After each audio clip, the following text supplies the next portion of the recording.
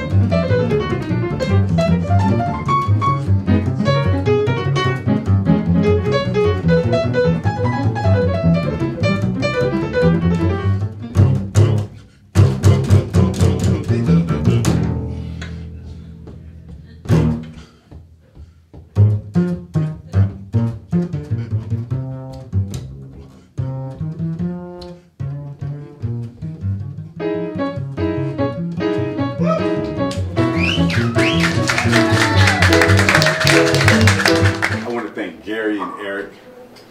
Upton Bass is phenomenal.